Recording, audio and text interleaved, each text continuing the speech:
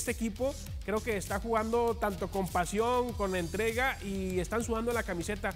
No sé qué les habrá dicho también el segundo tiempo Anselmi al equipo, que salieron con todo, o sea, salieron con esa garra, que no salieron con el Cruz Azul que estaba acostumbrado a ver o que estamos acostumbrados a ver, de que ya se tiran, ya eh, anotaron, ya vámonos para atrás. No, Fueron precavidos, pero no se echaron para atrás. O sea, pero como lo decía Nacho, ¿no? El otro día, o sea, echarse para atrás cualquiera lo puede hacer, ¿no? Pero, hacerlo bien, defender.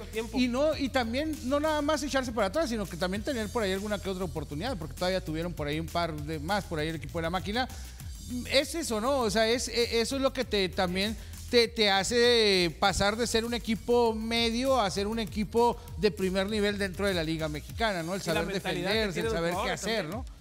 Y, te vas eh, eh, a buscar jugadores nuevos también, ¿eh? O sea, que fue lo que hizo Cruz Azul para ese torneo. Se trajo porteros, se trajo delanteros, se trajo, o sea, trajo gente que le iba a ayudar a, hacer el mejor equipo posible, ¿no? Y, la situación con Cruz Azul es siempre esa, ¿no? Es que, pues, la, mala suerte o el Cruz Azul trae esa historia. y estos jugadores llegaron y dijeron, no, pues no nos interesa, ¿no? Es que es, es una etapa generacional de jugadores que, no, que no conocían mucha gente y que gracias al equipo, gracias a, que también le ha seguido muy bien, pues ya están conociendo. Rotondi, que también lleva muy buenos eh, goles y lo más importante es que siga anotando en todos los partidos, porque recuerda que hay delanteros muy buenos. Que note un gol por serie, pero que sea el gol que le dé la victoria al equipo. Y que esté vigente en, esto, en estos momentos, que lo necesita este, Cruz Azul, porque de qué nos sirve que sea el mejor delantero y que después se pierda en esas semifinales y que no lo veas. Eso ha pasado mucho. Sí, sí, sí, de acuerdo. Pasó con el cabecita Rodríguez también en su momento, pero pues bueno, esto estos son los resultados, un, gol por cero.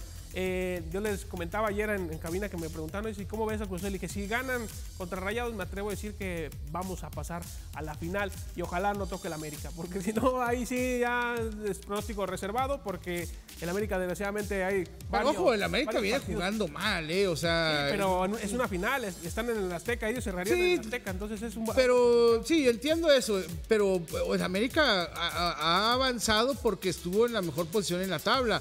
No fue mejor que Pachuca, aunque Pachuca tampoco fue superior al América. Fueron esos 30 minutos y que en realidad fueron 15 minutos, ¿no? Por ahí del minuto 15 al 30 de ese primer tiempo donde Pachuca se fue con todo y después el resto de la serie, los dos partidos, para baja, la baja, la baja, la baja, la baja.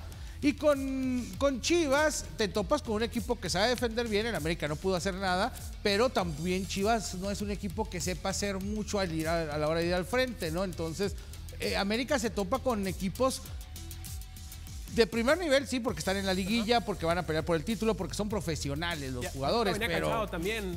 sí, no, exacto. O sea, Pachuca venía mal, de, mal y de malas, Pachuca, ¿no? Con partidos acumulados. Eh, eh, desgaste físico. Desgaste físico, ¿no? Lo vimos. importante, ya están. De pierde con Pumas el equipo de Pachuca, este, le, gana el Necaxa, pero cuando pierde con Pumas te das cuenta de muchas cosas también, que venía la baja físicamente el equipo, ¿no? Porque Pumas se plantó y sí, dicen, es que, bueno, Pachuca también tenía jugadores eh, jóvenes en ese partido.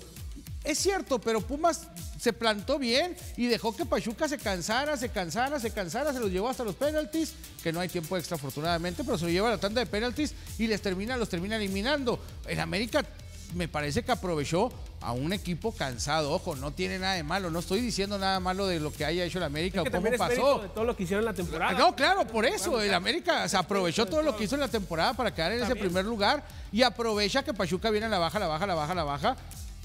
Sí, pues, y, y gana la serie, ¿no? Porque no gana un partido, gana la serie al avanzar. Oye, y ya este, ya para irnos a las declaraciones, eh, hablaba es el que mejor se ha visto en, la liguilla, ¿eh? La liguilla y Eliminó a Pumas bien eliminado y ahora gana este primer partido No vayan a dar la sorpresa el domingo allá en el Estadio Azul, en la Ciudad de los Deportes. Este, le, le comentaron al Tano, pues es que tú no eres bueno para las semifinales. Bueno, no así, ¿verdad? Pero literalmente le dieron por esa yugular y ya estaba pues algo triste. Y dice, pues es que yo no tengo la culpa, o sea, no, son, no soy yo, son los hombres también que están ahí. Pero técnicamente, o sea, técnicamente hablando, Tano tiene cierta razón. Ahora, que, ya te estén recordando esa situación cuando todavía queda un partido, cierto, vas abajo en la serie y vas con todo en contra, pero no significa que ya esté derrotado, no significa que Monterrey esté fuera ya de cualquier ayer se vio muy bien, no la metió simplemente, no la metió, simplemente fue por suerte que no la metieron, pero Monterrey es un equipo fuerte, un equipo que en la, en la banca, los que estén en la banca pueden ser titulares.